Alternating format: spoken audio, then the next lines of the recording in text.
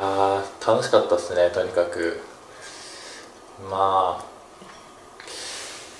うん一生に一回行ければいいなぐらいだったけど意外と行けちゃうなっていう、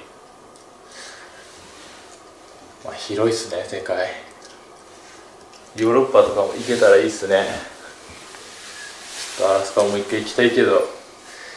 いろんなとこ見たいですね日本も世界も。最高でした。いやアラスカ楽しかったです。滑るのも楽しかったけどなんか人生のいい経験になりました。パスポートなくしたりいろいろ迷惑もかけたところもあったけど滑ってる時は最高でした。できればまた行きたいなと 思ってます。アラスカ最高だね。めっちゃよかったわでもなんか行っちゃえば普通だった、見ちゃえば。見た見た絵はすごすぎたけど。面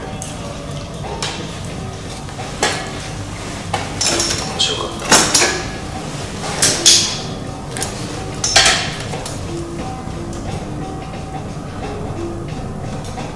あと34回は行きたい。まあ、先シーズンのアラスカはなんまあ自分がその2年前にアラスカに行ったタイミングが、まあ、すごい良くて。なんかみんなにもそれを味わってもらいたいななんかその世界を見せたいなってなんかずっと思ってて、まあ、たまたまそれこそ高明たちがまあ、まとまった人数で「いやうちらもアラスカ行きたい」って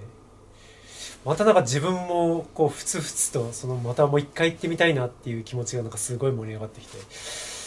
まあそこで人数がこう集まるんだったらもうなんかお店のツアーみたいな感じにしてもいいかななんて思って。まあ深夜にも無理言って。まあ稚内漁師チームのこう仕事が始まる時期に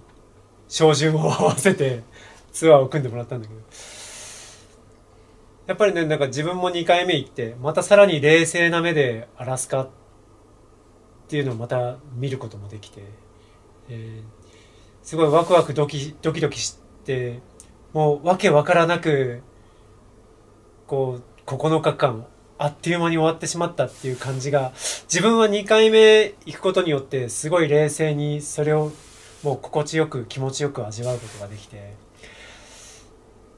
みんなは初めてのアラスカでこう自分が1回目に行った時の感覚だったんじゃないかな、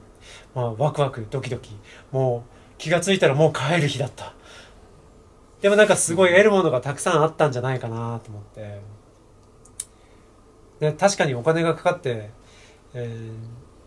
ーね、こう仕事を調整しながら、まあ、家族をなだめてっていろんなことを駆使してみんな行ったんだと思うんだけどでもそれ以上に得るもの得たものはなんか大きかったんじゃないかなって気がするんだよね。まあ次のまたその次のステップも、まあ、自分もちょっと考えてて、えー今度はまたみんなで大勢の人数でまた違うところに違う場所に違う雪を楽しみに行けたらいいなって思ってんだけど、もうこれからまた新しいシーズン始まるから まあ先シーズン得たその感覚と、まあ、アラスカで感じたことをまたこっちで、えー北海道で日本で北海道で、えーまたいろんな人に影響がこう与えられたりとかまた自分がまた新しい感覚で、えー北海道を感じれたらいいなってそれを願ってます。